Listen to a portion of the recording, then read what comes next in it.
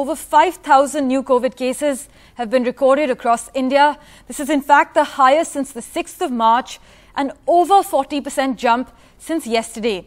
Now, to be precise, 5,233 new COVID cases have been logged.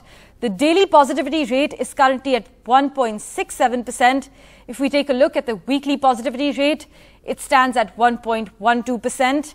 Now, the active caseload across India is 28,857 cases as we speak.